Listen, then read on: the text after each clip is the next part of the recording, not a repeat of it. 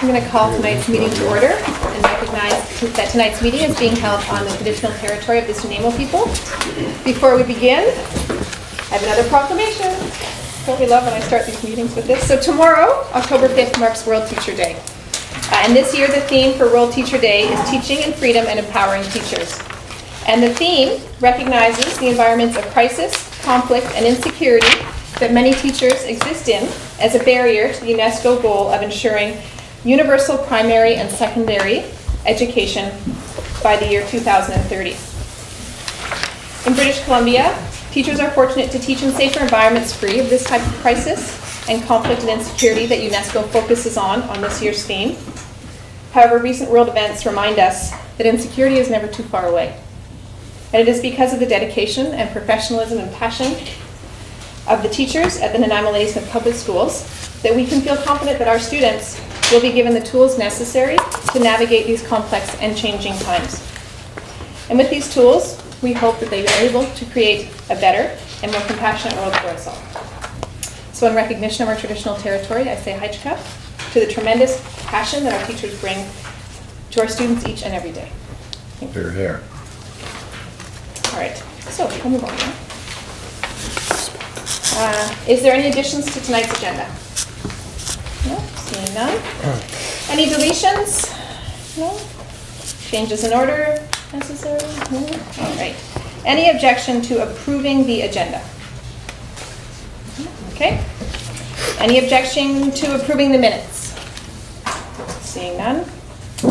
We will move into presentations for tonight, which begins with um, our Director of Instruction and our Vice Principal of Elementary and our Vice Principal of Aboriginal Education presenting on our retreat this summer and the board goal of reconciliation.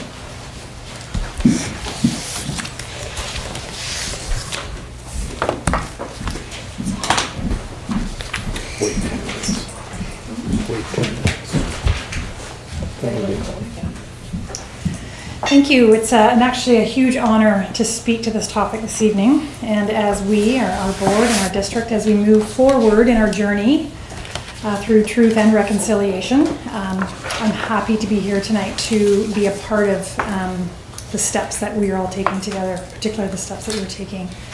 One of the messages that I want to share with you before we begin is often we hear terms like decolonizing or indigenizing. And often we're probably scratching our heads, wondering, what does that mean? What does that look like, sound like, feel like? And we think about the Euro Western construct that we exist in, the dominant culture that we exist in, a structure like a, a board system. And what I'm reflecting on is how you, as a board, have allowed another process to influence your process. And that is an effort toward decolonizing the system, and it's an effort toward indigenizing the system. And I feel very proud to be part of that. And I wanted to sort of hold my hands up to you to say thank you and to articulate and show a real live example of a system that is allowing this indigenization. So I thank you for that. And I'm going to invite Anne up, and Anne is going to lead us through this process this evening.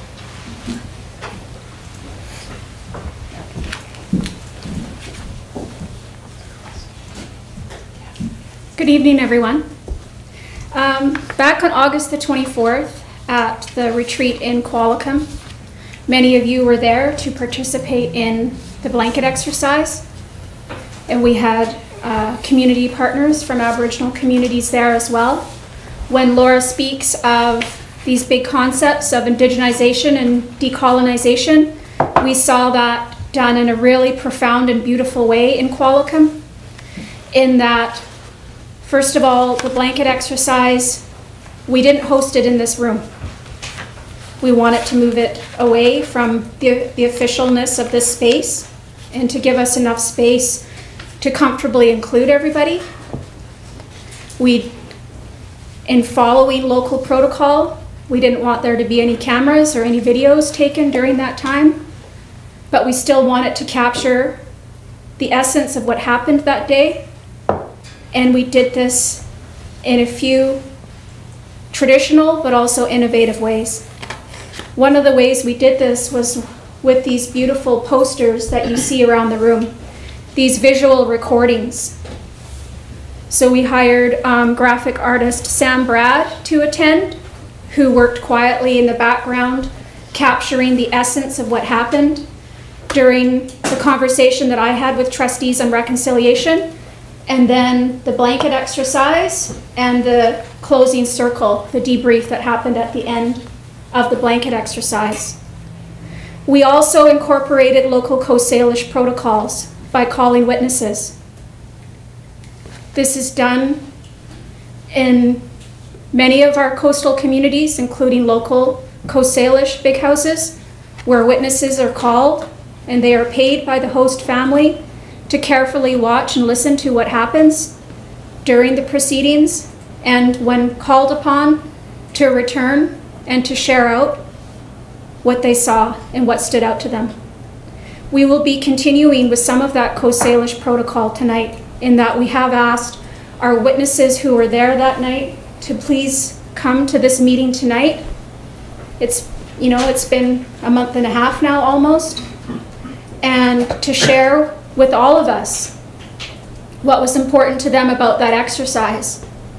And for all of us here tonight to listen to what our witnesses are sharing with us and to hear their words, reflect upon them, and think about how we're going to take what they're saying now forward as we continue to unpack and process and take action to our district goal of reconciliation.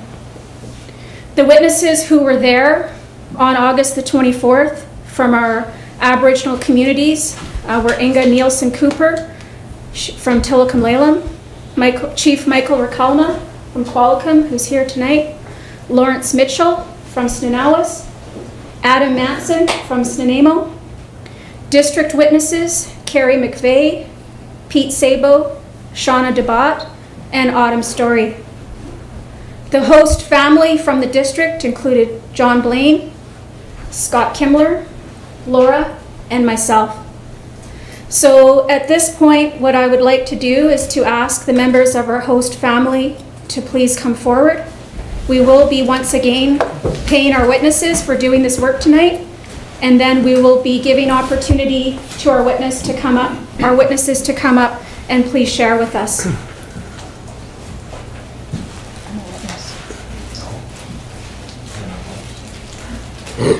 Okay,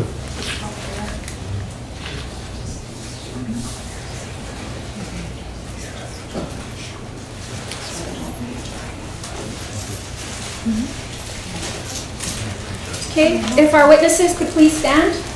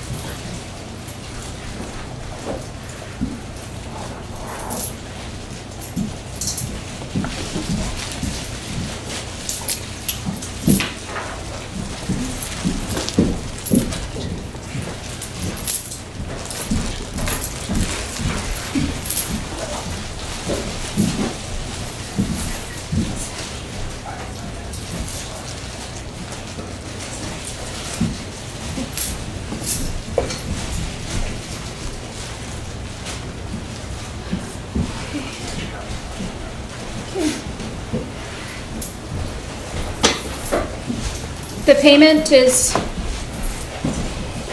protocol, follows Coast Salish um, witness protocols.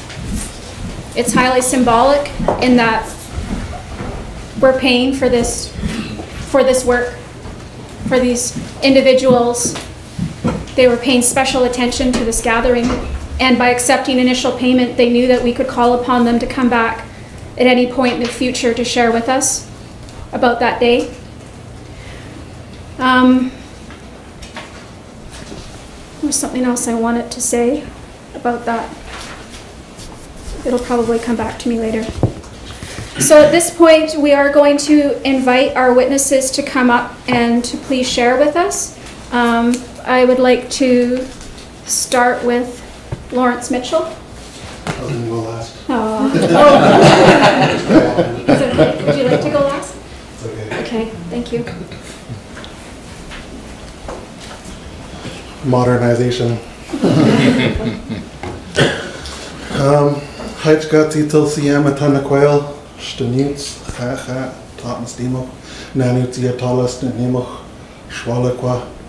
Um, Just acknowledge the Creator and our ancestors today and our Snenemoch uh, family members for opening up this space for this work to take place tonight. Uh, The the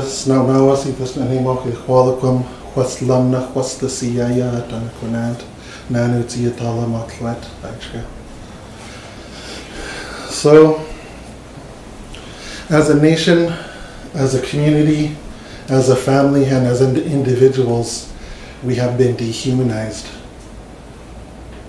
It's like um, something was created to systematically deconstruct and eradicate everything sacred about who we are as Hualmuch Nastimuch. It has sent shockwaves throughout every generation of First Nation across Canada for thousands and thousands, even millions of people today.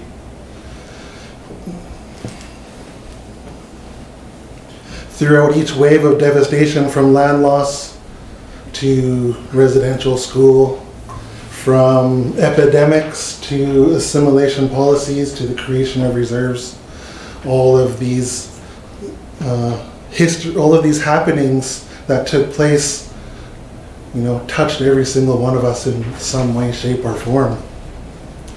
You know, and for the people that attended the blanket exercise, uh, they were able to look through an unfamiliar lens. We in- invited them into a space of pain and trauma because we opened ourselves up in a, a very special way. Um, no, I didn't know. Well, I kind of knew what a blanket exercise was. I YouTubed it, I Googled it, you know, I got familiar with it, you know, but nothing can actually really prepare you for the, the proceedings of something like that taking place. You know, you can hear about these things, you can read about these things, you know, uh, online, you know, or through social studies books about residential school, or you know, you can watch it through movies of things that happened to the Huanmuk Stimuch. But once you actually take part in an exercise like this, you know, it's takes you somewhere deep. You know, you're learning intellectually, emotionally, physically, and spiritually. There's much more taking place in an interactive way like that. And I really want to thank everybody at this table and what other tables that um, made this take made this happen. I really believe in my heart that the people that attended got something meaningful out of it. And I truly think that it touched them in a space and opened up their heart and mind for, you know, more good work to take place at this table and all the other tables that you guys sit on. You know, I was, um, I tapped into an, an unknown space of trauma within myself on that day. You know, I didn't truly understand the impact that was going to take place. You know, I had tears coming from deep within my spirit, all the way down my shirt. I was, I was like this, man. I was shaking. You know, I couldn't think straight. I didn't know who I was. I didn't know what was going on. And I think a big reason why that was taking place because it was healing for my grandparents. You know, we're turning the page. We're going on to new chapters. And I'm really thankful and blessed that something like this takes place. And I hope that it, more things like this take place. And I truly believe that within this district, you guys are have the hearts and the minds and the people to carry out everything that we need to actually work towards a healthier Canada. Reconciliation is not just a word. It's about putting belief back in a little girl's heart so missing or murdered Indigenous women doesn't take place. It's about putting self worth back into those kids so that they know, you know, they, that stuff doesn't happen. It's about creating healthy and safe environments for our children to blossom and grow. You know, I bring my daughter everywhere I go. So she learns and she hears the stories and she understands what happened to us as Holmach and how we're all working together to repair that relationship. Since the beginning of time, our people have followed a set of protocols in what we call Snowayach. When um, this was taking place up in Qualicum on that day, um, we had to make sure that work was conducted in a meaningful way. We had to make sure that um, protocols were adhered to. We had to make sure that um, we honored the Coast Salish ways. And, you know, as a young person learning something like this, you know, uh, I can say in my heart that that was a great day. It was a wonderful day. Um, you know, acknowledge our Hul- Hul'q'umi'num speaker, Jerry, Brother Jerry. He was there, calling the witness, speaking in our Hul'q'umi'num squall. Uh, Brother Adam speaking, Brother Mike, everyone that was there. It was more than just being called to speak on what you, what you bear witness to, what you've seen. It was following protocols that have been there since the beginning of time these sacred transactions took place in our big houses thousands of years ago to make sure the ceremony went as planned, to make sure that the certain name that was handed down was done in the appropriate way and acknowledging um, who the name belonged to. Memorials, coming of age, there were all types of ceremonies that were taking place that wouldn't be able to happen if there weren't witnesses there to provide legitimacy to the work. So I, I take it upon myself as a high honor and a high regard to be able to speak to the body of work that took place. I really feel it in here that you guys mean well. You guys want to learn more. You guys want to be a part of success and a healthy, growing, flourishing, thriving Canada you know that multicultural happy one big happy family everyone says about canada you know? When most of those people don't even know the dark history that took place you know we're shining a light on that. And we're beginning healing in whatever way shape or form that we're doing it in. You know i was really thankful that i was able to cry out those tears. You know I didn't even know that I needed to be healed from that. So you guys have done a tremendous thing for me. You've done for my child, for our nations, because I can be able to use that and transform it into myself to bring out more gifts, to learn new things about myself. Because I've lifted weights from the past, and now I'm ready to walk into a newer future and be able to share things like what I saw on that day. And I really want to thank you all and raise my hands to every single one of you that you know made that happen, Laura, and all the other witnesses, all the people sitting around that table. You know, some of them were kind of not wanting to speak because of the, the impact of that. You know, when, but we went around again and they were able to speak on it. You know, they opened themselves up a little bit. It was good to see that we're moving in a good way. So I really want to thank everybody. And I'm really thankful you all made it here safely and that those of us that couldn't be here, I hope that they're okay in their, their path of life. I really want to once again raise my hands to Tzitzel CM, without whom none of this could be possible. And I thank you all for thinking of me to speak on behalf of your body of work.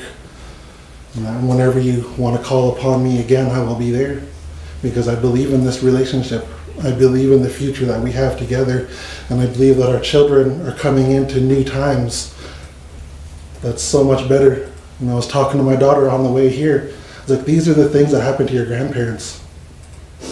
How can you repair something like that? You know, needles and tongues, washing mouths out with harsh chemicals, beating, all of that stuff. It's like you can't repair something like that, but we can work together to try and understand it and share that with the rest of the world and move forward together. Well, it's scary to, you know, tell my daughter things like this, but she needs to know history. She needs to know why I'm here fighting today. Why people call upon me to come forward and share the things that I share. It's all coming from in there. That's where I live. That's where we all live. Sacred Hualmach ways.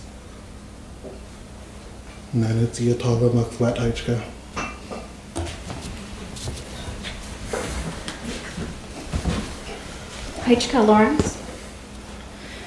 We hosted this very important work on the traditional territories of the Qualicum. I would now like to invite Chief Michael Recalma to please come forward.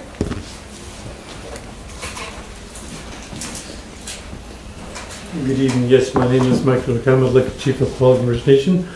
I would like to really echo, echo what Lawrence had said, but the letter I got that I could speak to everyone about that, that day, and to, like Lawrence again said earlier in his speech, it opened up things for me too, um, to see parts of your life that were going on on that on that blanket, like you're going to go over here, you're not going to go to school, you got you got to go on a, a taxi, you can't ride with the white people to school.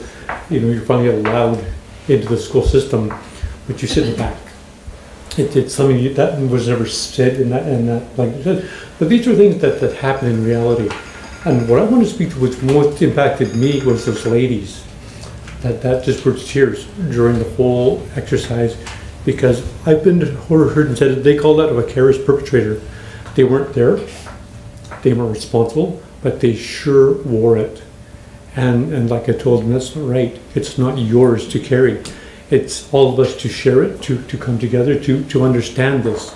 Now you people that had never seen this have got maybe a little bit better understanding of what we might have gone through, or our parents or our grandparents. So it might be a little bit of insight as to why we're the way we were. Why are we so quiet and secretive? And we don't trust you.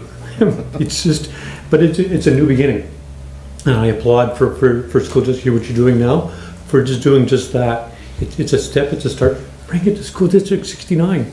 I don't think they do it there. I'm not sure, but it doesn't matter. I'm here today, I'm here this evening. And uh, to, to, again, thank you all for what you did that day and for following protocol. Like Lawrence says, it's been going on since time immemorial. These things must happen and they still do happen. You know, we were paid and am tonight to, to speak to what, what I had seen and what was my impact. And uh, I hope you continue the work you're doing. And uh, again, if I'm joining you home to come back to, to, to again to address this, I will be able to come back. Thank you. Heichka Chief Recalma.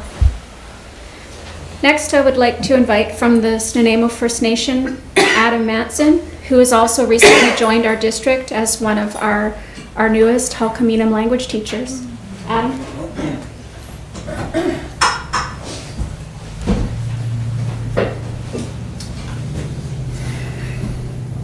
RCM na sia ia. En ta sa the chala i chonitum sne Adam Manson ach na nemoch. I te mana al chalt simot i quit with a i chonitum sne Gary and Donna Manson. En ta u quay ta na sa si la al shna nawis shna nemoch i thok min. Hey tap ka kwanzalaps ka keep a tan quail. Iwan joch te teach namis doch to sweat swallowings at the sea eyes at Tanaquil. Hey tap, hey him. Before I like to begin anything, I always just like to follow my own teachings that I've got in my culture is to just properly introduce myself. Eh? For those of you that don't know me, my name is Sateh Khalak and my English name is Adam Manson. I come from Shnaneymuxw. My parents are Chalt Simot and Quit with the and their and their English names are Gary and Donna Manson. And one of the important lines that I like to share is that I like to share that where I'm connected to through the bloodline of my grandparents, and that's Nanus, Nanaimo, and Shell Beach, which is just inside of Ladysmith. I really wanted to thank you all for gathering here today and giving me a chance to share a little bit of our culture and things that I learned at this thing. And I really want to thank the ones that put up the work today. Okay. For the blanket exercise itself, it's a it's a tough one. It's a, it's a very emotional one, and it gives the opportunity to share our dark history as First Nations people, and how much it's impacted us in, in many ways and it's been handed down for generations. Okay, and on that day, all those emotions come out, and it gives everyone else the opportunity to see. Some people are very sad and they can't even talk, and they just cry. Okay, and then they'll just pass, you know, and then try to come back when they can try to regroup and gather themselves. Okay, because again, because that history is so dark, and for others like myself, you know, it makes me angry when I have to talk about all the things that happened, what my dad went through, and what what a lot of these horrible things that happened in, in this in this time, and people get to witness that firsthand. That's what that blanket exercise gives us. Okay, and a lot of different emotions come out of that. But in the end, when we all come together and we all start talking about it, okay, a lot of people don't know the history. They don't know how, how harsh it was. Okay, and this blanket exercise gives that opportunity. Okay, and it gives us the opportunity to explain who we are as First Nations people and, and how strong we are and how resilient we are. Okay? And it says a lot of these things on here. We have a lot of gratitude. That gratitude there, that word there. I'm very honored. I'm very honored to be standing up here and sharing some of this with you. Speaking my language that is nearly extinct. Coming up, and I have the opportunity to do this in the district now and expand the language as much as I can. So I have a lot of gratitude for a lot of things and the ways that we are going. Okay? And and um, to work in a good way is one that I really like there. That's where I'm trying to carry myself. I don't try to shy away from the history. Okay, I know what's been happened. I know how I've been impacted. My father alone is just a residential school survivor. Okay, so I have all of these emotions that I work on and we deal with with a lot of things Lawrence and them talked about. We go, we deal with it on our own way, our own Snowayeth, our own teachings. Okay, but I want I come I come up here and I want to work in a good way because that's what's going to help us all to come together. Okay, we're going to be able to educate as many people as we can. We're not shying away from that dark history that's been hidden and secretive for so long. It's starting to come out. And I'm, once again, I just want to say that I'm very honored to be a part of this and come and share some of this with you. Hi, Tsaka.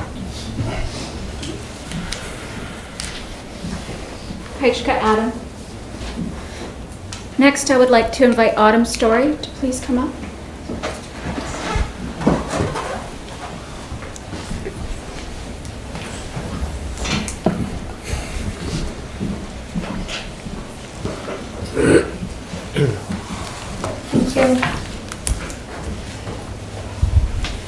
I didn't know what to expect of the blanket exercise. Uncharacteristically, and unlike some others, I hadn't Googled or investigated what was involved. I almost did on the way to it, I was that nervous. I also didn't know who would be participating. When I entered the room, I was startled by the number of people gathered, and as introductions were made, I was impressed by the many partners that were represented. When Elder Jerry Brown called the witnesses, I was surprised to be among them.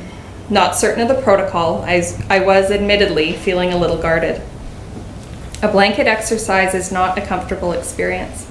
Our history is difficult, often unfamiliar, and difficult to align with the pride we take in all that is beautiful about our country. We had been encouraged in the welcome by Laura to come to the experience with open eyes and open hearts, and I resolved to do so and be present in the experience. The history and facts presented in the narration was interesting, but they were not unfamiliar to me. As you can probably infer from my name, my parents were a little bit less than conventional, and so was my upbringing in many ways. Amongst them was the fact that my very Irish mother has worked since the early 1970s with First Nations organizations, and she's currently a clinical counselor with the Residential Schools Health Support Program and has been for many years.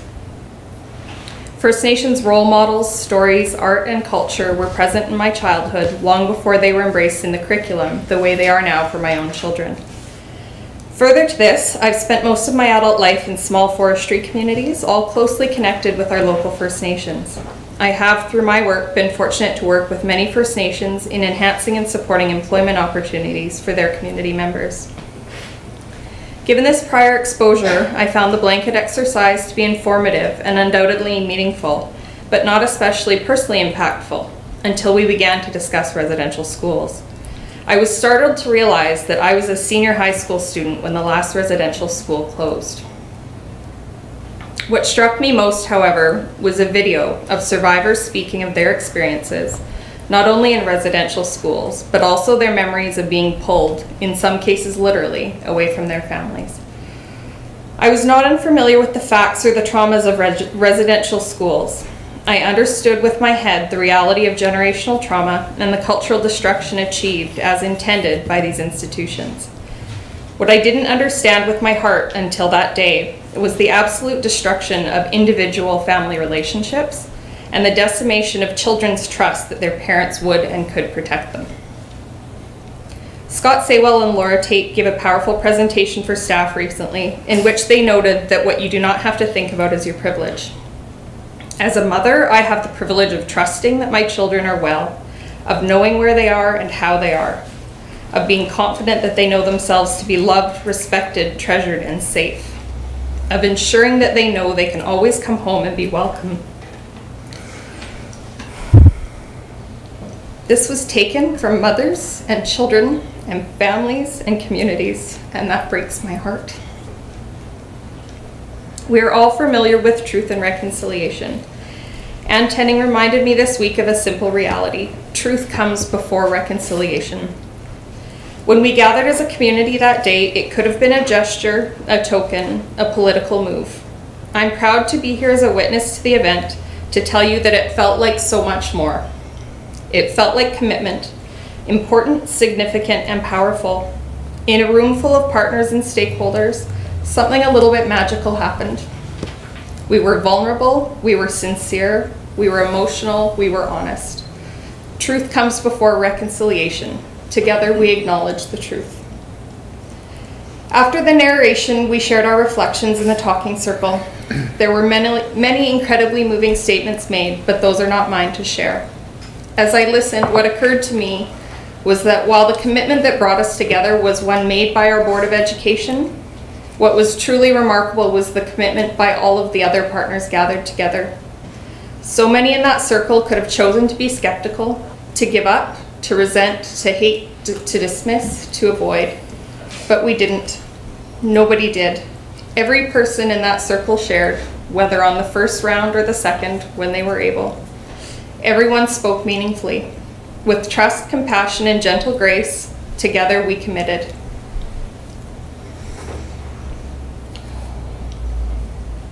When I got home, my son asked me what I did on my trip, and without thinking about it, I answered, We built hope. When we were called to witness, Elder Jerry Brown said amongst his invitation, Thank you for not giving up on this beautiful family. To the board, staff, and all of the other partners walking this path forward with us, thank you for undertaking this commitment to reconciliation, for the strength to acknowledge truth, for the opportunity for me to be included in this important step forward, for the honor of bearing witness to this powerful moment of shared learning. Most of all, thank you for not giving up on this beautiful family.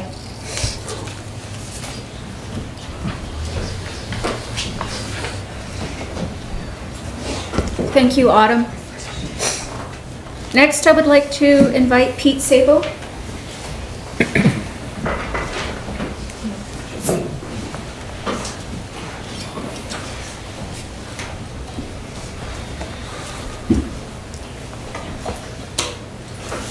Thank you. Um, I'm honored to be here and to speak as a witness uh, to the blanket exercise. I admire those who spoke before me because they had put down their words so eloquently and as to what they experienced. I'm experiencing still some I'm still trying to understand it all and process it all for myself and piece it all together. And, and so I'd like to share some, what may be seemingly random thoughts and things that have happened since then. I too was uh, grateful for um, Laura's words with respect to um, understanding. It's a process of understanding. And I felt freed up to, to not judge, but to listen and to understand. I, I, I didn't really know what reconciliation meant. Um, So there was a, there was an exercise with Scott and Laura that helped me understand a little bit. I went into the blanket exercise. I, I, I want to say, Lawrence, I, I, I can, as a witness, legitimize the work that's being done. Um, I want to learn more and be part of the process in my journey. I want to talk about that a little bit.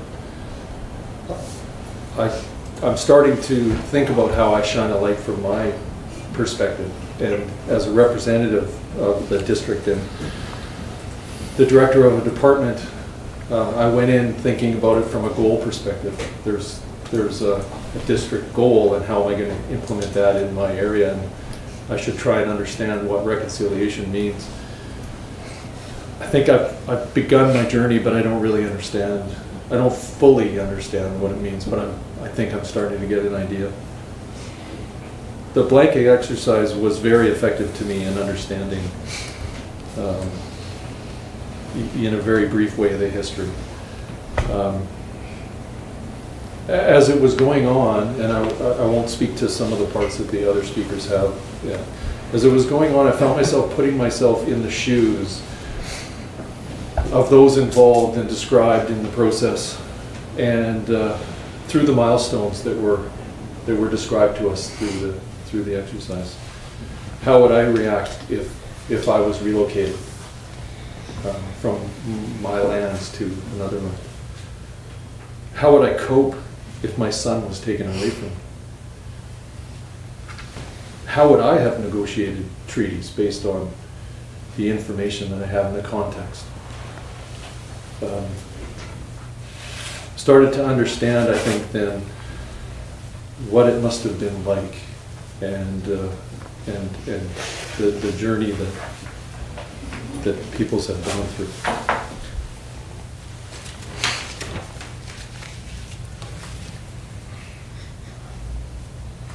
It was eye-opening to understand how the events, how that, how it sort of all unfolded.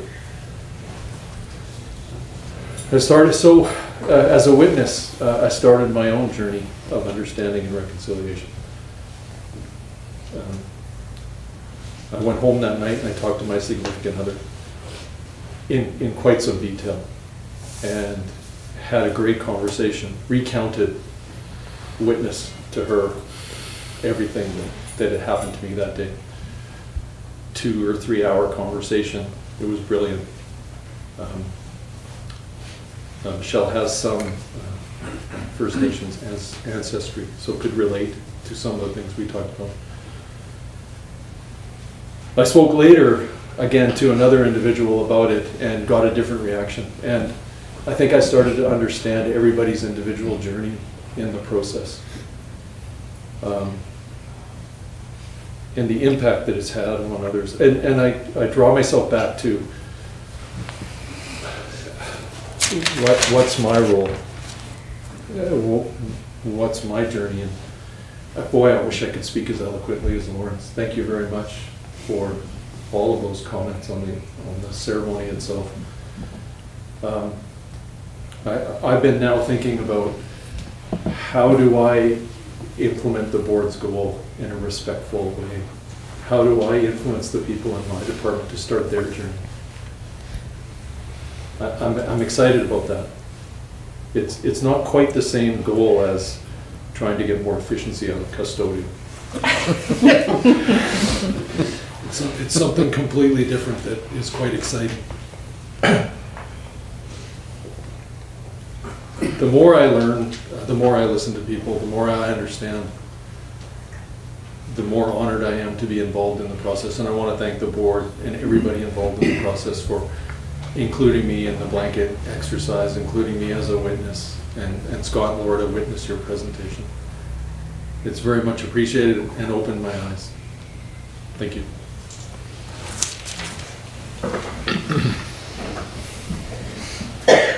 Heichka Pete. Next, I would like to ask Shauna Debat to please come up.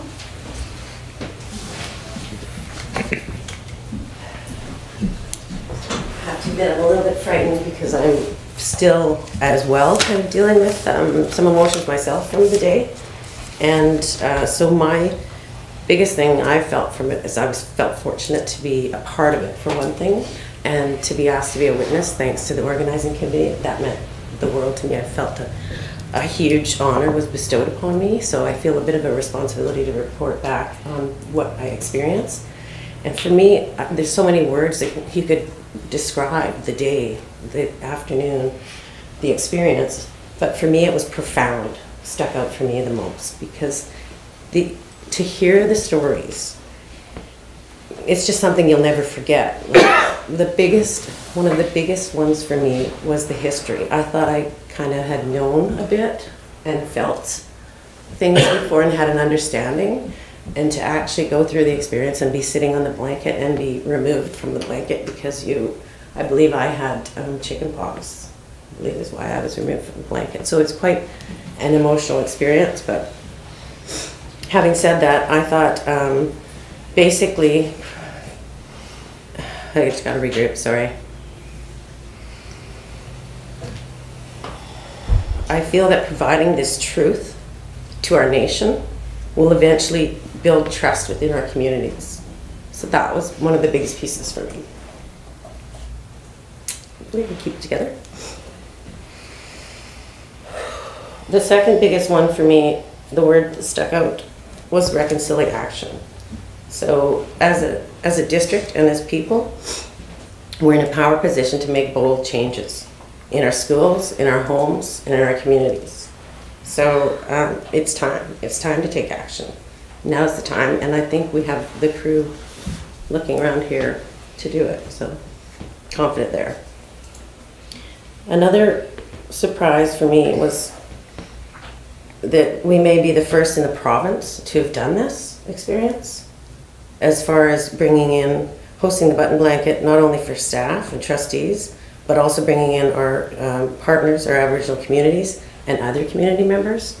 So that was a very empowering moment where it felt like we're onto something here. This is you know people are going to be looking to us for what how how can we do that? What are you guys doing right? And how can we work forward with you guys on this so working together was a big piece um, to make great strides towards the truth and reconciliation goal. Um, again, looking around the room then and now, I think gives me such great hope that um, for our future, for our Aboriginal students, our families and communities. And I'm looking forward, like I think we all play a vital role in, in how we move forward, but I'm looking forward to how I can contribute in my role with the school district. So those are my, my feelings. I don't have big long speech like I'd like to, but thank you, thank you. Paige Kashana. Okay. Carrie, I'm going to put you on the spot a little because I didn't warn you that I'd ask you to come up to speak, but would you like to come up to share a few words as a witness? Um, I was one of the people at the blanket exercise that had difficulty um, speaking first time around. And, and I'm feeling that emotion again. What I'd like to say is that um, for me, I think, um, well, first of all, I was just incredibly honored to be at the blanket exercise and to be with you today and to be part of this journey. But I think that I've had so much difficulty because for me it was a, almost a physical experience, you know, and, and emotional. What I felt in that room that day was just um, so much vulnerability and connectedness and no judgment. I can talk about the history piece and feeling so ignorant to so much of what I experienced that day, but um, again, it, it's hard for me to even put it into words. It just really touched me at a, at a physical, emotional, mental level. And I just feel so much gratitude to everyone that joined us that day and everyone in this room and again as we move forward. Great job. I'd like to give a heartfelt Heitzapka to all of our witnesses who all spoke so eloquently tonight and all shared and brought different aspects of that day forward. This is so much more powerful than any video, and I'm really glad we chose to do it in this way. Um, we will also be giving copies of these posters to our witnesses, so before you leave, please make sure that I give you one of those so you can take it with you. It'll help as you continue to share the story of this work.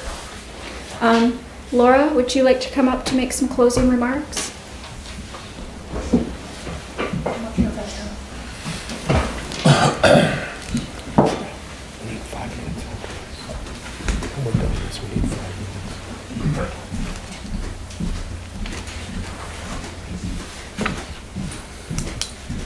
I'm not actually sure if I can, actually. It's- All right, it's a big night. Only to say thank you to everybody, and the words that you said today, all of you have resonated with me. My mom, my kids, all of those things. You've touched my heart, my mind, my spirit, all those good things. I'd say I've got to all of you.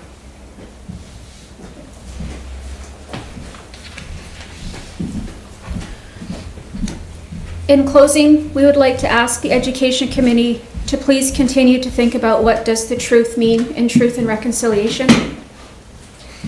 We would like to invite you as a committee to please take some time to reflect upon what was shared with you tonight and to return next time with some ideas as to next steps, as to how we as a district continue to move forward with taking the goal of reconciliation to reconciliation. Laura reminded me yesterday when we were speaking about tonight's presentation that this work is really tightly connected to the First People's principles of learning, particularly that learning takes patience and time, and that we would like you to take the time, just as our witnesses have, to please give some time and space to really think about this tonight and what you heard and what you felt and how we move forward as a district, but also as partners with our beautiful communities.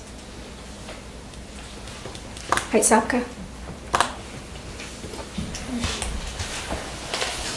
These are some of the moments where I wish that Steve was sitting in this chair because it would be his job to wrap this up in an eloquent way. And um, hmm. so um, I'm going to suggest when I'm done talking that maybe we take a few minutes. Um, you know, Laura, you talked about decolonizing and indigenizing, and, and I think we witnessed that here tonight. A, a very brief glimpse of that. Um, you know, still lots of work to do, but it, um, I think we brought that into this, this space. But right after this, we have to go back into a really bureaucratic system. So um, I, I would like to um, acknowledge the hard work that Anne has done to help the board um, and Laura as well to help us with this goal. And I think, um, Pete, you touched a bit on it. Sort of like, how do I take this now and make this goal that we just plunked in there after lots of talk and process? It's not just a word. And I think, um, you know, we passed this recommendation, which became a board motion, to um, help go on a process to define what reconciliation means, to create a definition of it. But we have to live it first. And um, there's no guidebook. Uh, it's been mentioned that this hasn't been done before.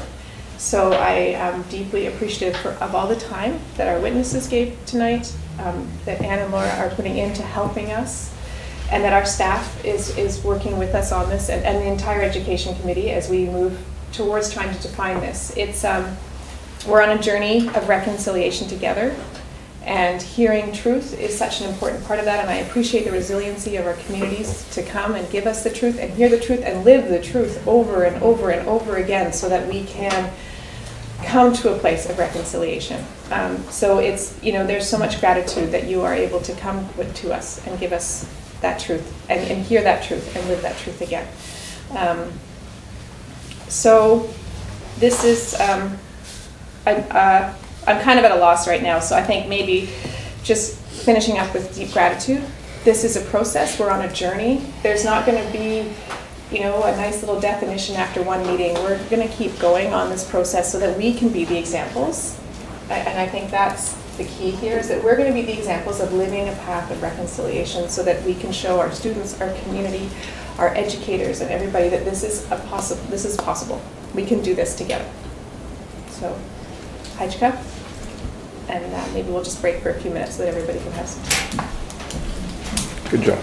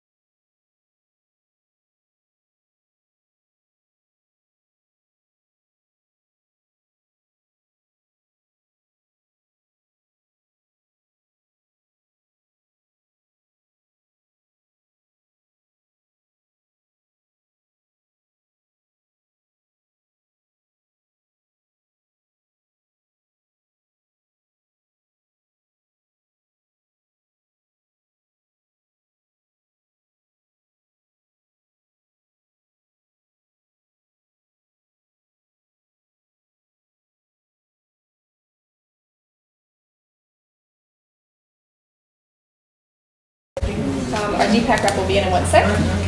And uh, next presentation is um, our superintendent's report that begins with an enrollment update, or or do you want to jump straight to the FSAs and then do the enrollment update after? No, I think the the enrollment update is very quick, if you'd like.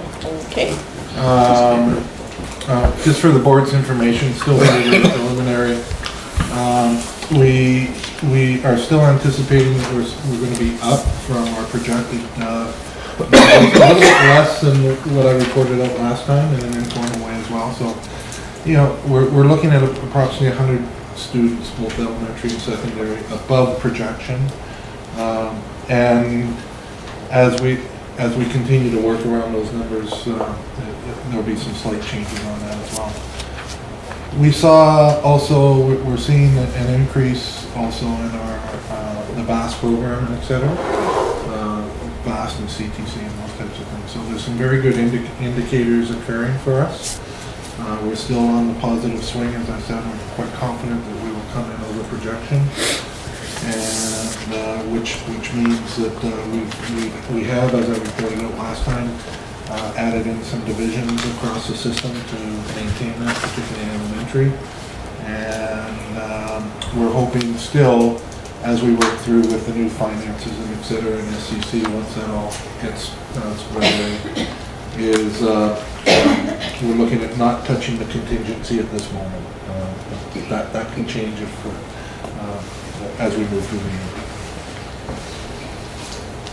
Questions? Just a point of my memory needing uh, a bit of twigging. I recall that we usually do get a big formal report that lists all the schools. Is that about two weeks, is that the end of the month that we'll maybe we get that? Right, but on- once we secure the seventeen oh ones and all that information and we sort out, uh, all of our, uh, designations and things like that, it'll come out probably the third week of October. Okay. Maybe the end of October. Thank you. Other questions? Okay, um, I'll just ask a quick one. Maybe in that more um, Yes. robust report, we can also see areas. It's, it's sort of top of mind for lots of people in the community, you know, where we're seeing growth and where we're not seeing growth. And it would be nice to have a little bit of a breakdown of areas we're seeing growth most, um, just so that we can be alert. So back to the chair, uh, certainly, uh, if, it- if we don't have it ready for the end of October, we'll put it on and, and do the work for that. Okay. Thank you. Any other questions on this? Thoughts? No? Okay. Now we'll move on to our presentation.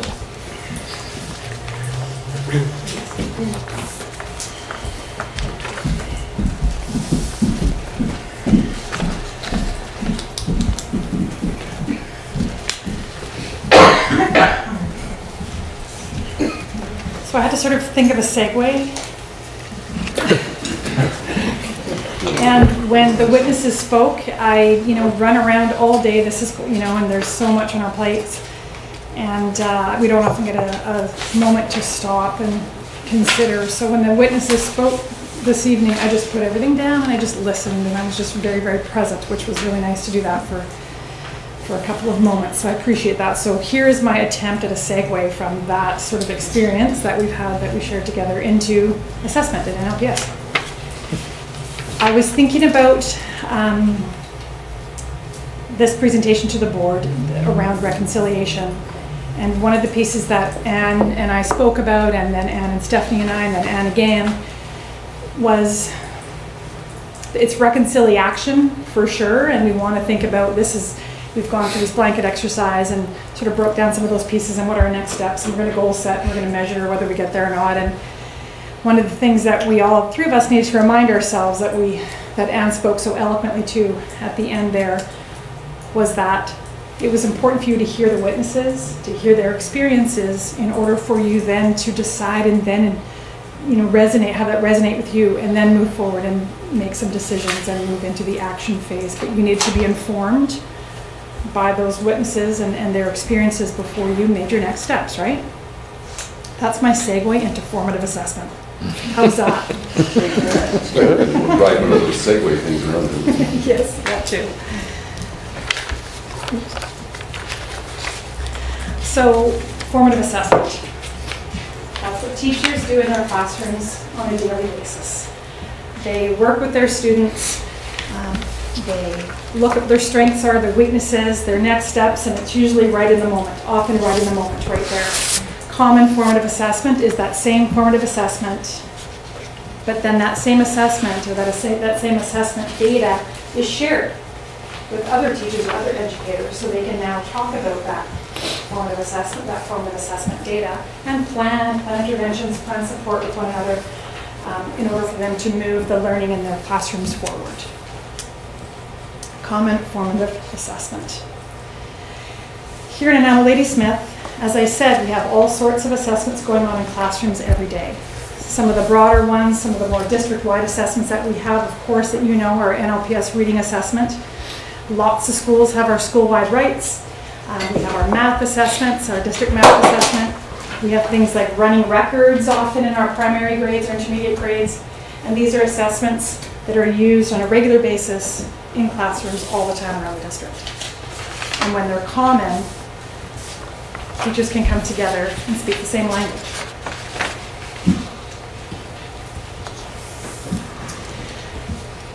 It's going to segue in us into the foundation skills assessment. Lisa Robinson is our district principal for our learning framework, and one of her portfolio aspects is the FSA. So Lisa and I are going to present a little information around the FSA.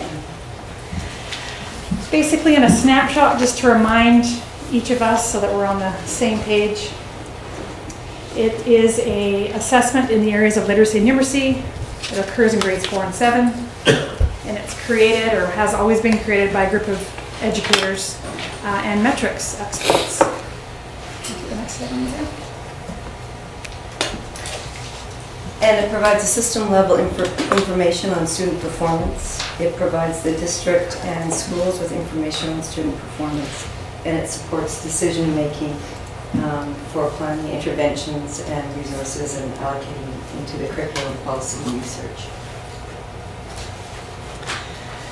So we have, because we have a new curriculum, we have a new FSA. And the quick facts around this new FSA.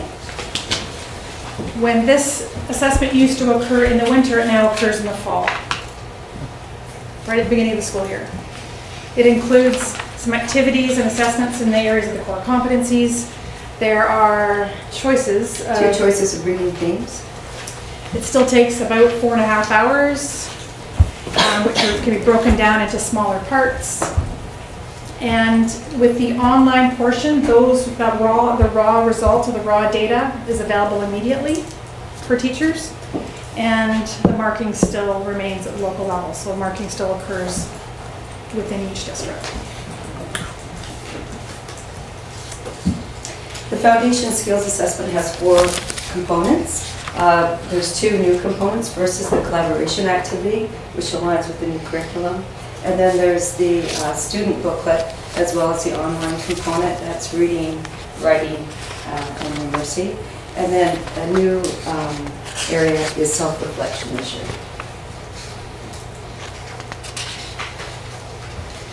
So what remains the same with the FSA? Is still developed by BC educators, it still assesses reading, writing, and numeracy. It's administered, as I said, in grades four and seven, but because it's administered at the beginning of the year, it's actually assessing the content from grades three and six. It includes uh, online and sort of paper-based or written components. Uh, Still takes about the same amount of time, and it's still scored locally. And then what's new is the administration time, it's October, November, instead of January and February. It includes a group collaboration activity at the beginning of the assessment, and this time it includes a choice of reading themes for the students. And it uses a variety of engaging questions and formats, um, and then at the end it includes the student self-reflection. And it's reported on proficiency scale this year. So those are some of the highlights, and I think um, when we think about all of our assessments that we have, the variety of assessments that we have that occur um, in our classrooms, and we think about the fact that the FSA is a provincially mandated assessment, and we think about leveraging some of the pieces that make the most sense for us those are the fact that it now occurs at the beginning of the school year. So the ministry has placed it at the beginning of the school year, so the data can be more readily accessed at the beginning of the school year, so that teachers and schools can use the information provided by this assessment to inform future instruction. The online, as I said, the raw data in the online parts of portions is available immediately. Uh, The, the uh, written portion of the assessment can be used by a variety of grades, by a variety of classes, and if, in our school district, we are already doing school-wide writes, so that the- this FSA writing component can be used instead of the, the school-wide that's already occurring, so that kids aren't writing that, writing assessment twice. Because the BC curriculum is still quite new to us, our assessments, we're still trying to play catch-up in that regard. For example, our district math assessment, we're only able right this year is to pilot our grade six math assessment. In past, the math assessments have been assessing mostly content, and the new curriculum focuses a lot more on competencies. And so a lot of our math assessments don't assess those competencies yet. It's going to take us a little while, a number of years to get up to speed with all of our math assessments. The FSA is up to date, so it's providing uh, data on the new math curriculum. And this FSA has, as Lisa has illustrated, a couple of components that are utilizing the core competencies like self-reflection, collaboration, etc.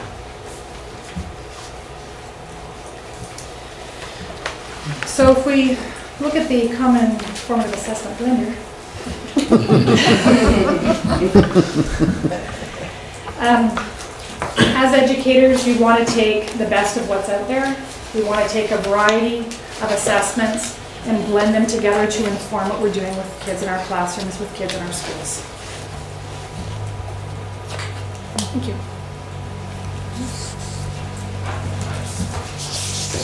Uh, There's some question, there's one question so far, but I just, I just want to bring this back onto the agenda. And the, the request here is that we rescind, that we recommend that the board rescind a motion from few years ago. I'll be speaking to that. You're going to speak to that? Okay. So let's deal, knowing that that um, is going to come, would you like to do that first, so that people can frame their questions and help understand the discussion based on that? Or do people just have questions in general about the FSA? Do you have questions about that? Okay. Yeah, you mentioned that there are reading themes, and I was wondering if you could expand on that a little bit more, like how many different themes there are, um, what are they based on, and do they include Indigenous learning, which is part of the new curriculum? Yeah. Part of the writing team uh, includes um, First Nations educa- ed- educators, so there is a First Nations theme weaved throughout the assessment. Um, In terms of the reading assessment and choices, I was looking at the grade four one. There's two based on um, more of um, a thinking component versus a doing component. So for instance, with the grade four assessment, it's about Lego and play the doing piece, and then there was more of a thinking reflection on a skill set. Okay, thank you. I did the grade seven one. How'd you do? I don't know, I didn't see my, but I did do them. And the, the reading is set, the two choices, they're sort of themes. One of them was survival, and then there's two stories that you read about that, and I couldn't remember what the other one was. Right now, I can't remember, because maybe I chose the survival one. Well, hopefully you did, because you don't remember what the other. I know. was. So, so they give you these two sort of choices of, I don't, of a- like an emotion or a, You You're bringing down the curve, man. Yeah, so, I got a question. yeah. Um, ca- thank, thank you for your presentation. Can you please expand on uh, the point that says created by teams of educators and measurement experts? Who, who is all involved in creating this? Those are BC teachers and teachers from the Yukon. And then metrics specialists, so they're, the- they're the ones that are in there from the ministry, they're gonna help sort of create the scoring system.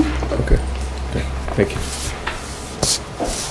And First Nations teachers. Thanks. Other questions at this point? I kind of have one. Okay. I'm just wondering, um, kind of more on a technical level, like, are there any like tools or any kind of like software or any kind of things that is needed to support this? Computers, basic computer, yeah, with a mouse, maybe That's it. mouse pad. So there, okay. Yeah, it's quite user-friendly, there's drop-down menus for the app. They, actually, uh, visually, it looks a little bit different.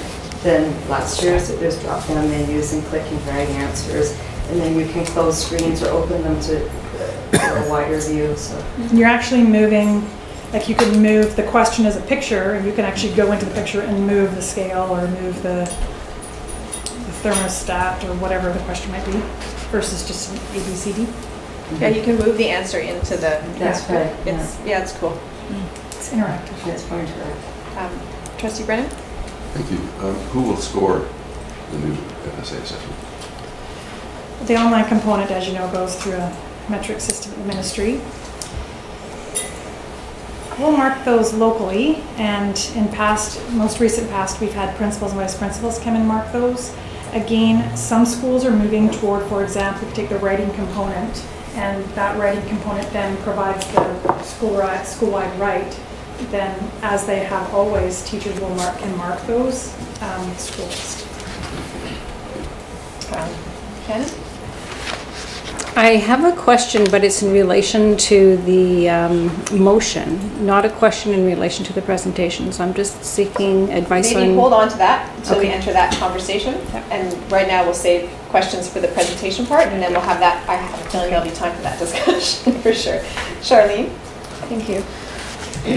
Uh, Through the chair, just thinking about moving the, or since it's moved now into being an earlier time frame, our students predominantly, as they're leaving primary, have been working on iPads and not on the Chromebooks or computer labs. In some schools, we don't actually have computer labs anymore. So what type of skills are those kids being given prior to actually working on these tests around their computer skills to make sure that they're able to complete them accurate in the best, so that they're properly supported prior to starting? Good question. Uh, In terms of being prepared just with the tool itself. Mhm. So that, so there are sample, um, online samples and- and that students can practice and and try to get comfortable with that. So may I follow up? Is that occurring at school prior to the test, or is that something? Yes. That's, okay, Yeah. thank you. That would be the expectation. Okay, thank you. Thank you. Uh, Through the chair, if you could just clarify for me what you said about the math assessment, ours versus the ministry and the curriculum changes? I don't think I understood exactly what you're saying. So what's changed in large part in the new BC curriculum is this notion of competencies versus content. Right. So competencies, so tell me if I just skip ahead a bit. So com, so content um, are more kind of recalling of facts, things that are a bit more tangible, um, which are important. And then the competencies are more the skills and the behaviors associated with that content. Does that make sense? I think so, yes. So one is doing the math, one might be, you know, behaving like a mathematician. Okay. Um, to simplify that. Yeah. So we're, in- we're, the new curriculum has increased the notion of the competencies, the how we are doing things. So when we have assessed math up until this new curriculum, we're assessing what's in the curriculum, which in large part has been the content. As in timetables? Right. Um, and then now that the curriculum has changed to include the competencies, we have to assess the competencies. So there's a couple pieces there. It's still new, so it's gonna take time for folks in the province to build new assessments to get a sense of how kids are doing. The second piece is competencies are not always kind of a multiple choice, pass, fail, yes, no kind of assessment. So they're going to be a little more complex and it's going to take us a little while to wrap our minds around how we're going to assess those. So work is, is going on with those around that uh, achieving, sort of getting those assessments completed. They're going to take a little while. The district math assessment is what we use here, we use on the island. It's a, it's an, it's an an excellent math assessment, but it's not measuring at current time, it's not going to measure the, the competencies in math yet, so we still need to build those components. Trustee Solomon? Uh, Just to expand a little bit on the uh, uh, teams of education measurement ex- expert, but is it, is the BCTF, have they, have they been actively engaged in this process? and Are they, are they appro- approving of this process? Well, teachers have been actively engaged in creating the FSA, and they always have been. Um, I I don't know what I need to comment on the BCTF's position on this. I- Well, we have a member at the table, so perhaps the member can answer the question on. It's fine. Yes? Oh, I'd I'd love Okay. to, yeah. Okay, so Um, Yes, teachers, BCTF teachers did participate in the revision of the FSA, but they did so on the premise that the data would be masked. So in other words, the data would not be able to be captured by any other organization. And of course, the organization that has always been difficult is the Fraser Institute. As soon as it was um, understood that the provincial government would not mask the data, um, BCTF pulled away.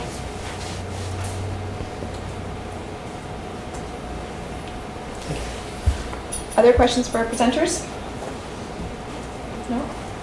Thank you very much. Don't go far, I have a feeling there might be more questions for you. I mean, you can sit, sorry. I just don't run away. Okay, thank you. So, um, moving forward with this, uh, um, I'd like to touch upon a couple things, uh, around a motion that, uh, staff is recommending for us to move forward with. So, uh, there, there has been basically a three-year working plan to develop, uh, the NLSP and the formative assessment directed by the board. And uh, to refresh the board's uh, memory, there was a continuous improvement of instruction and assessment board governance policy 1.3. Uh, That was created prior uh, to this board and it included uh, several different uh, points around assessment and the, the districts uh, moving forward in creating some forms of assessment to inform instruction, to inform us for the ability to look at uh, where funding and support could, uh, could occur, and to give us some indicators of uh, the success of the, of the system, of what we're currently doing, what are the changes we may need to do, and uh, of course, use that to inform ourselves on attempts to improve the system. The three primary points i- in that was point number one, ensure that all learners participate in provincial, national, and international assessments. Number two, identify and support the implementation of the district assessments in order to provide for continuous improvement of instruction and assessment to enhance student learning at the local level.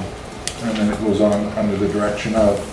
And number three, to promote and utilize school and classroom assessments. Um, The staff and teachers in, uh, in the NIMO have been working diligently around the formative assessment pieces and district-wide assessment. We feel that we will accomplish this uh, uh, task to the majority of it uh, by the end of this year. So that would be the end of three years.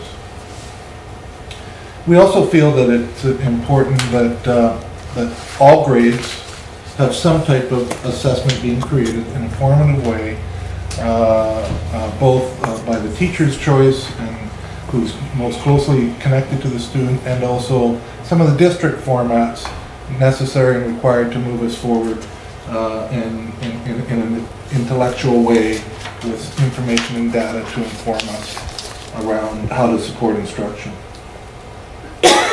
In 2015, uh, the, the board approved a motion uh, to, and I believe uh, intended to acknowledge the NDTA's desire at the time, that principals not follow up with parents who requested non-participation of their child in the foundation skills assessment. Many of the reasons and rationale used at that time was the basis of when the, uh, when the assessment was created, teachers were not able to use that assessment in a very structural way to inform their, their teaching strategies for the current students that are there. And it didn't follow cohort groups uh, in, in any significant way. So as you experienced and saw today, there are many things changed in this, uh, the new foundation skills assessments to alleviate some of those things, to get it in the hands of teachers in a, in a quick and speedy way, and to lead them uh, uh, in their instructional strategies. Uh, You heard that tonight around the BC curriculum and, and, and the nuances around that. Uh, Over the past three years, as I stated, that uh, we've been working diligently and hard with teachers. We have some very, very strong teacher leaders out there working uh, from K to seven and from, from grade eight through 12 around this area. And it has been a focus of, uh, that this board has directed staff to work on around the new curriculum and assessment for the last three years. And this, there is, I would suggest it's significant monies and, but as significant as we can get, focused uh, by us into those two streams of elementary and secondary to bring this uh, uh, to the forefront. It's important to be mindful that the foundation skills assessment is necessary and informs student progress. Uh, But this is just one of the methods, as I stated, and teachers still have an access and battery of different assessments and tools that they will use.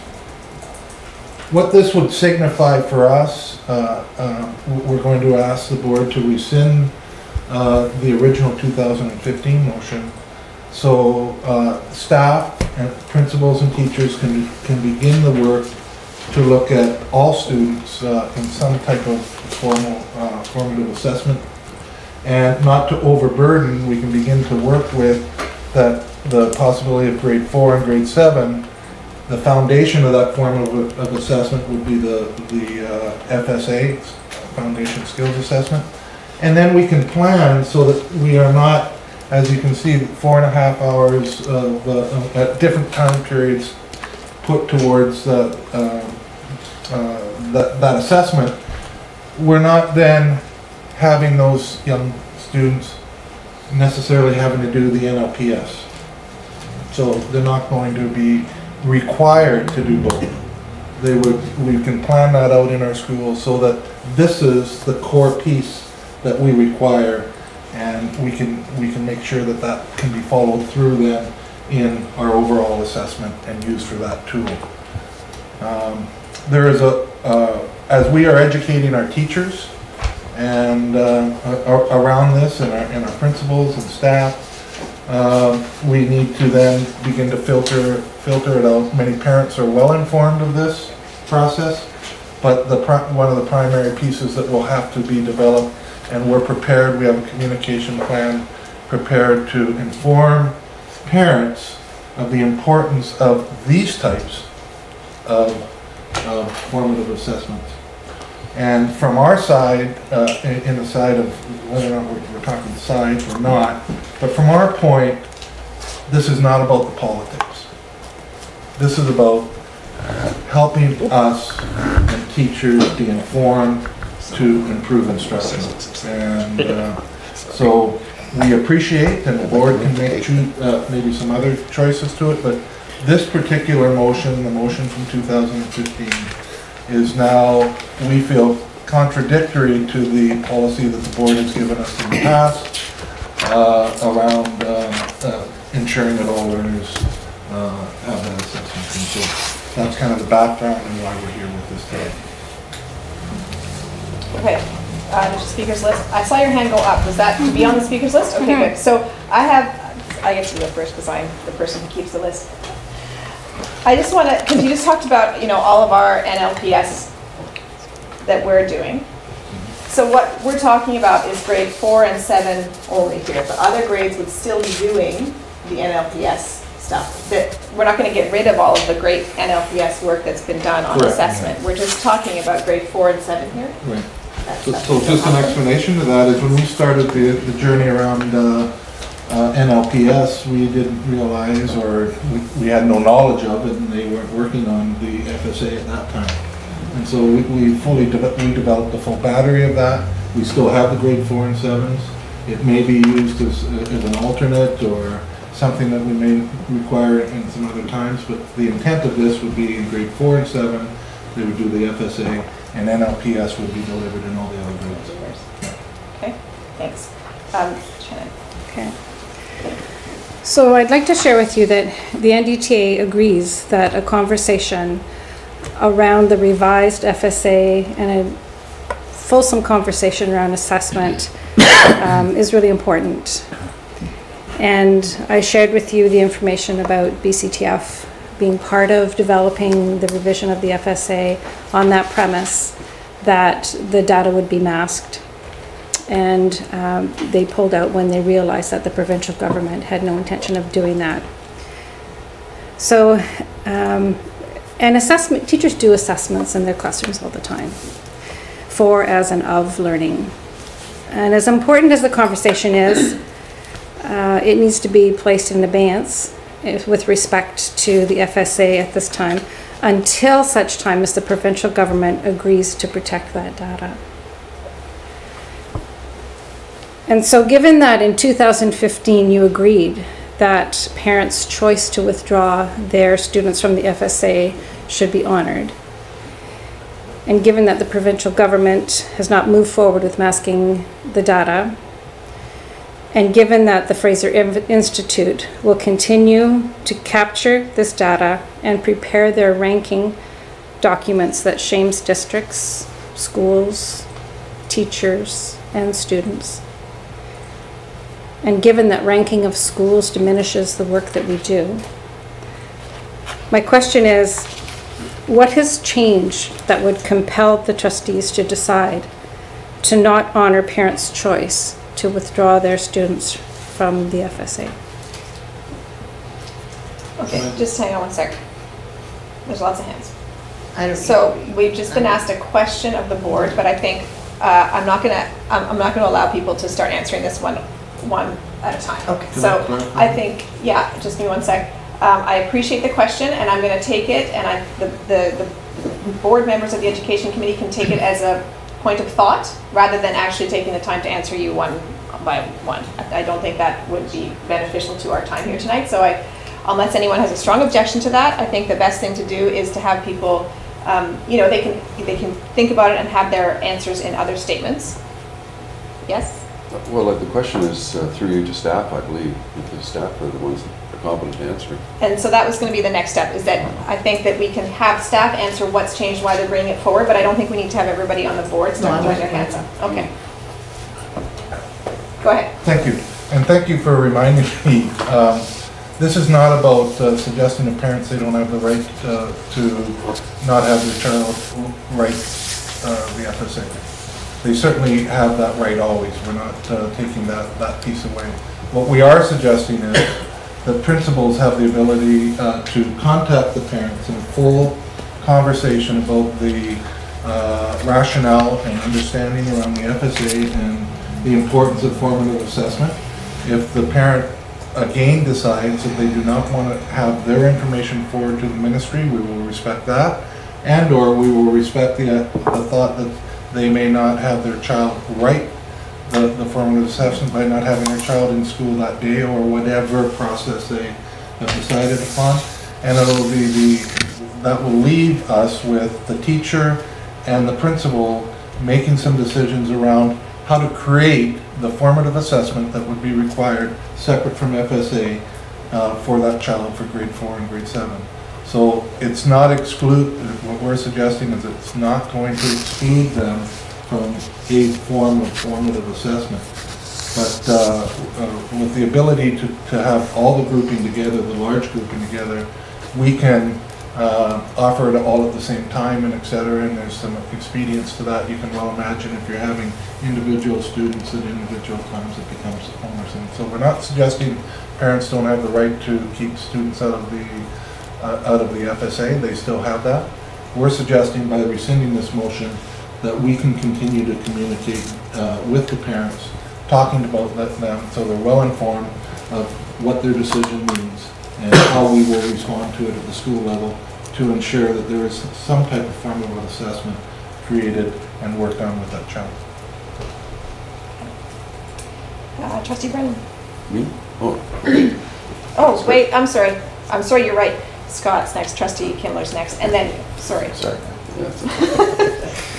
Um, so a couple things, I guess. Um, first of all, it sounds like the, a couple changes to the FSA uh, sound very positive. One, the fact that they're moving it earlier into the year, into October, means that the data will have some value for that, that, um, school year. And that it caters to the new curriculum and, and all other aspects, and, except for perhaps some of the mechanics, it seems pretty much the same old, same old.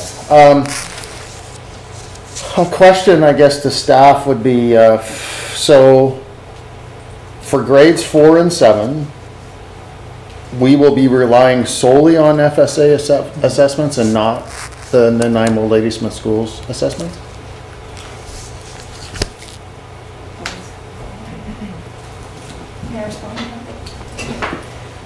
So the FSA can provide certain components in the area of, say, um, for immediate feedback, we can use the math portions. Um, For something like a school-wide write, we could have the school-wide write topics for grades four and seven, kind of span grades four, five, six, and seven, and that's what the school can use as topics. Um, So I think it'll be more of a blending versus one replacing the other. Okay. Um, and then a question, I guess, also would be, with the addition of the language that trustees put in place in 2015, have we seen a significant decline in participation rates of FSA during the, during or after that time period? Yes. What sort of percentage drop or? I don't have a percentage, but we've seen, a- I would say, particularly in some schools, we could have gone down as, I'm going to kind of speculating, probably as low as fifty percent. I'd agree with that. Just to, to clarify though, not necessarily due to just the motion, across the province there has been a decline as well. So it's hard to abstract out, uh, the difference. Okay.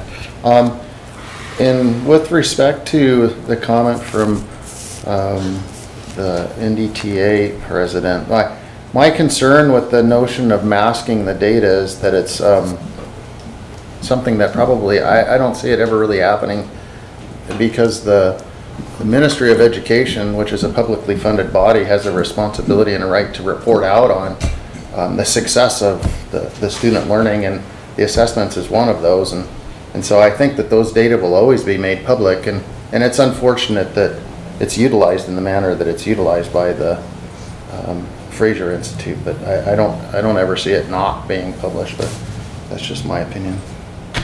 Thank you. Now, trustee Brennan. Thank you. Um, Yeah, the issue of the, uh, is of the uh, freedom of information that uh, the Fraser Institute relies upon to access the data uh, from the FSA. And, and in looking at what was presented, not much has changed. The previous uh, assessment was developed by teachers, administrators, and, and metrics people, um, as was this one. Uh, We have a new government, and uh, I think almost every year, this board has passed a motion appealing to the government to withhold uh, the uh, FSA data from all except uh, teachers, parents, and and and administrators. And it's gone to Victoria, and it has gone to the round file, I guess. But perhaps with the new government, and, and by comparison, it, data, um, data uh, obtained by hospitals with regard to their services is private. And it's not because of their, you know, personal medical records, it's because it's, it's, it's cumulative data on their operations, their services. And it isn't released to the public. So I don't see why a government that won't release hospital uh, data uh, on research uh, wouldn't withhold this information if appealed to.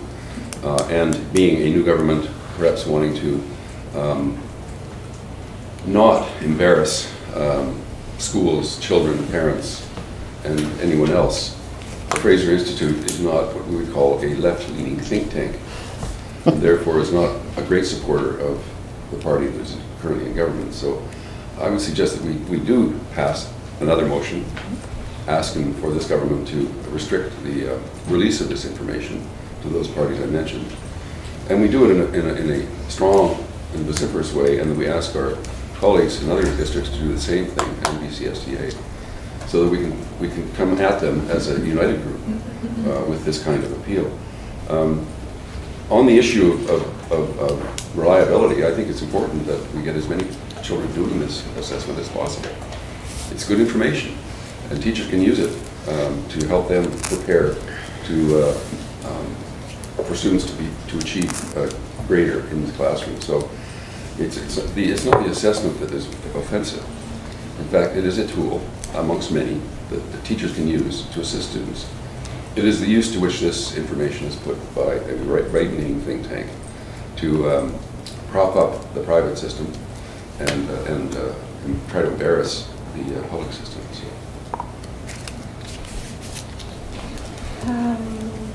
So President? Thank you. Trustee Brennan stole a bit of my thunder, but not all of it. Uh, Let's be clear, the Fraser Institute is doing more than attempting to embarrass the public system. They are attempting to undermine the public system. They are attempting to dismantle the public system. That is their ultimate goal. I have no interest uh, as a trustee and as an advocate for public education in supporting them in doing that. I have looked at this motion and thought about it and reread it multiple times since the agenda was sent to us. There's nothing in this motion that prevents parents from, from continuing to participate in this test if they, they wish to. We, and, and there's nothing that, to, nothing has changed in, in, in, there's nothing in this motion that says the FSAs are bad. The original motion, the one that we passed in 2015. We're simply giving information to parents and allowing parents to make a choice based on the, based on unbiased information on both sides. I see no reason to change that.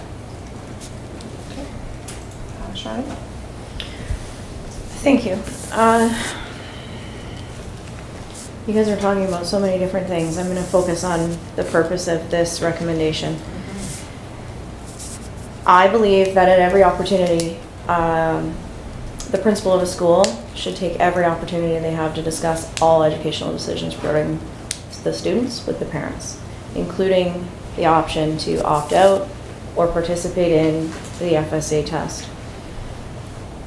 I think that those conversations will lead to more education for parents as opposed to talking them in or out of a decision. I don't think that's the purpose. I think the purpose is to educate a parent. And I don't think that there should be a board motion standing in the way of an opportunity to- for a relationship between a principal and a parent to have that conversation about the child's education. I'll leave the rest of it to you guys. Thank you. Trustee Robinson? Just a quick clarification uh, to the superintendent through you. Uh, A parent can choose to have their child write the FSA, but that information not be shared out? I didn't know that. The, through the chair and Laura is there as well. I know, uh, and, and Lisa, the, um, the written component is, is easily not forwarded on if the parent wished that, right? And so because it- it's marked locally, uh, we are able to run copies for the teacher to use uh, primarily. Uh, the computer, uh, component of it is still. Yeah, so Mhm. it's still in question, and we will work through that as we go along, and if the parents uh, felt strongly that uh, that component they, they did not want, uh, certainly I I think those conversations could occur at that time. Didn't know that. Trustee Brennan? Thank you, Chair. Um, We often uh, obtain waivers or or permissions from parents for their children to participate in certain activities? Is is it, uh, this is a legal question uh, that I'm not capable of answering, but is it possible that uh, district parents might uh, sign a form that that forbids um, the release of uh, this information uh, obtained from the test beyond the the the parties that I named earlier? I mean, who has a right to this information? The information, uh, Well, the, the score results. Yeah. Who has a right to it now? And we, I guess it's the, it's all the parties mentioned, plus any party that wants to obtain it. I'm not sure of where we would fit legally. Yeah, I'm- that's my question is, uh, Around assessment. might we ask if, if it's possible for parents to um, forbid the release of information beyond educators? We can, we can explore that. Uh, So, I just, um, the BCSTA has written a letter asking to not release the information publicly, and, and other boards are doing it as well. So we would be part of a group that's doing that. Um, I agree that um, the Minister Rob Fleming is on record time and again in his time as a critic, expressing, you know, denouncing the ranking of schools. And so I think the time to act for this is now. Um, And this is a real tough one, like I really struggled with this. But some of my objections three years ago, when this motion was passed, wa- was to the, the fact that it, it lacked any kind of real academic weight and use. You're testing kids in January for things they're supposed to know in June. You're not getting the results in May. What was the point of that? It, like, was fundamentally opposed to any kind of formative assessment. It didn't even meet summative assessment. It just stank all around. But it has been updated now, and those concerns have been addressed. It's now happening at a time in the year where teachers can use it. And, um, you know, research shows time and, and again that assessment for learning does help improve teaching and learning. And um, this is being done, there's lots of great work that teachers are doing on assessment. Um, and the, the district is doing on assessment, but we're only talking about grades four and grade seven. We're talking about two grades in their seven years, um, where there could be a different touchstone that is, is used. Um, so, uh, you know, while I did object strongly to the test three years ago, my objections are less so to the assessment now. I'm going to use the word test because it's not a test, it's an assessment. Um, to the actual assessment now and to the rankings. So if it's going to help us make decisions on resources and help us advocate for stronger and better resources for our students, then I am not opposed to our students writing this assessment. I think um, as a parent, I like to know how my student is doing. And while I do know that every year they are being, you know, assessed continuously by their teacher, sometimes it's just nice to have a different opinion that corroborates what is being said. Um, and, and I do, I did, I did them all. So I'm a big nerd. Um, I did the four, I did the seven, I did the numeracy, I did the, the literacy, and, and um, they're different. They are different, very different than what they, they used to look like. Um, and they're much more interactive. And I love that they are now um, completely aligned with the new curriculum. That was another problem with the old one. They just were not aligned with the new curriculum. So um, I, you know, um, I do think we should work on ha not having this um, information released publicly, but I do think we should give the benefit of the doubt to the good work that's gone into creating this assessment. Um, and, and work hard over the next couple of years to have this, uh, advocate hard for this ministry to, um, you know, live up to the words that were spoken during its time in opposition. And, um, and if in a couple of years we see that this is still happening, then perhaps that's the time to revisit. But right now, that the academic value of this assessment, I think, is, is worthy for our students. And I really appreciate the point that you made about having the opportunity for principals to actually engage with their parents of their schools about learning. That's an excellent, excellent point. So I appreciate that. Trustee Kimler. Yeah, I'd like to move the recommendation. Okay. So the recommendation has been moved by Trustee Kimler and seconded by Trustee Rae. I'll just speak to it a little bit. I think you've made some good points, and um, I certainly appreciate the DPAC's position about conversations about student learning. And, and I think ultimately, at the end of the day, uh, with a restructured FSA, uh, when we take the political side of it out, um, really, we're talking about an assessment that teachers can use that will help inform um, their teaching for children so that they can get a better education. And, and uh, for, for that reason, you know, I totally support the rescinding of that motion that we made earlier. Yeah, I'll speak a little bit to it. Um, Thank you for everybody's thoughts on this. Um, It, I think nobody can argue the fact that uh, the more information we have, the better decisions we make. And this is just one slice of several different uh, slices to gain information. I thought uh, Laura's presentation using the blender is an excellent example of um, how we can take all of this and put it into one piece to help us make better decisions to educate our kids, and that's the main reason why we're all here today. I, I get the, the Fraser Institute piece, and I do. Uh, Trustee Brennan said it. Uh, Trustee Higginson has said it. I think it's time to challenge the current government. They, they talk the big game in opposition, and uh, I think it's important for our board and others, and the BCSTA, to hold their feet to the fire about this. And I think we have an opportunity to do it strongly, and we should.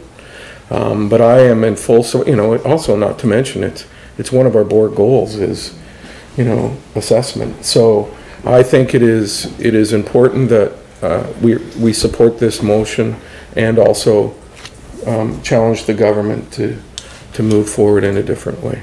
So I support it. Thank you. Trustee Robinson? Yeah, it's the, uh, what ha- has been done with uh, this information that, uh, by the Fraser Institute. I found myself sitting in a hot tub two days ago with a friend of mine who was bragging No about. salacious details. Yep, please. There were We're two talking about or- assessment there. There were two or three of us. Please let me finish. Uh, She, her son, they're very wealthy, and their son went through private school, and she was talking about, and I let her go on about all the great things. Then I found myself talking about the Fraser Institute, and those that know me, I'm a pretty laid-back guy. That water got hot. I was, I am so annoyed with what the Fraser Institute does. So I'm pleased to know uh, that parents can choose to not have that information go. Uh, I'm very proud of that, uh, or I'm pleased with that. I'm also pleased that uh, if the parents choose to not have their kids do that, that we have another formative assessment. Uh, so uh, with those two things and uh, a very good case laid out by you, I support this motion. Is there anybody else who wants to speak on this? Oh, trustee I'm just Brzovic. gonna say, I cannot support the motion. If you keep doing what you're doing, you keep getting what you're getting. I appreciate and respect, and truly, I do. There were, the changes that have been made to the assessment. I truly believe, in having done a lot of advocacy for a whole lot of years, that if we just go ahead and can participate in this, there's not the right kind of pressure on the government to make the changes it ne- it needs to make around the issue around the misuse of, of the data. So, and, and we have to tackle that issue first. And to me, part of the way we do that is by continuing to, to educate parents and to continue to give them the option of, of opting out and not making those calls. And I completely respect what our DPAC chair is saying, but I've, uh, around the relationship between parents and principals. And, but parents can also contact the, contact the school themselves and ask those questions and, and, and institute, uh, instigate those conversations rather than, than it being the principals in this case. If parents are aware of this issue, they, they know about the foundation skills assessment. This has been going on for a number of years. I think it's time to take a stand and say no more. Um, I'll just speak quickly to address some of those points. I think nobody's saying that parents can't still opt out. That's still their parents' choice and parents' right. Um, but uh, I'm not sure that parents do know about the updated FSA. I really wish they had changed the name. It's, you know, it comes laden with all this baggage that now everybody has to unpack. So um, I, I think that, I think that now more than ever with the updates, it is a good opportunity to educate our parents about the updated FSA because I don't, I just don't, I think that there has been, you know, lots of criticism that was, you know, well deserved previously, but I think the updated assessment um, is, people don't know about it. And I think that that um, is, is a reason as well to encourage more communication about this issue. Um, May I quickly follow up to that? Sure. Thank you. I guess what I'm saying is I don't see, I- in reading the motion, the old motion, I don't see anything that prevents that. Because all the old motion says is provide parents with the facts, give them the opportunity to opt out. And no, okay, we won't make a follow-up phone call, but that certainly parents know enough that if they have further questions, they can make the contact. Thank you. Uh, Is what I'm trying to get at. Okay, trustee Wright? Um, Thank you, Charlene, for bringing up that point, because to be honest with you, it's not something, when I was considering this, that I had considered until you mentioned it, and you are bang on correct. One of the most important relationships that can occur between a parent is the one of the principal at their school. And that can help a lot of things, solve a lot of issues on a lot of different uh, to cases, and if a principal, any chance we can get to put a principal and a parent together to discuss the education of his or her child is a positive thing as far as I'm concerned. So thank you for bringing that forward. Question? Uh, Trustee Bob had one thing she wanted to say. Can we let Trustee Bob speak? And Yeah. then- No, it's fine. I'll just keep it brief. I just wanted to share that I appreciate the discussion and I um, take to heart the need to advocate. Um, There are, you know, some, some things that we need to, to put pressure on the government for, for sure. I do see the value of, um, of this assessment process and value the work that's gone into it, so I'll be supporting. Call call the question. Okay, all those in favor of the recommendation? Opposed? Opposed by trustee Brzovic.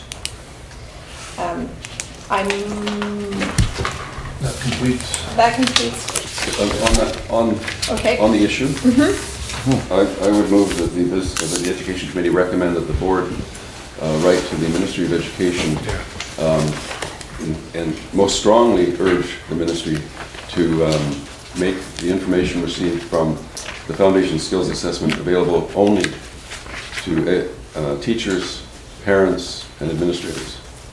I'll second that. Okay. I'd, I'd like to add a friendly amendment to that if, if that's all right with you. Um, in addition, or, or in, in another way that, that they, that we could get the ministry to, to achieve the same thing is to not have them reported on a school basis, um, to report it on a regional basis or, or a district basis, some, something that doesn't, I mean, they could still provide the data, but it would be, it would be masked in the sense that it wouldn't be done by school, so the Fraser Institute wouldn't be able to compare it by, by school, and I was wondering if we could add that as, as, as another alternative to just privatizing it. and or um, release information on a larger aggregate level than, than school-based.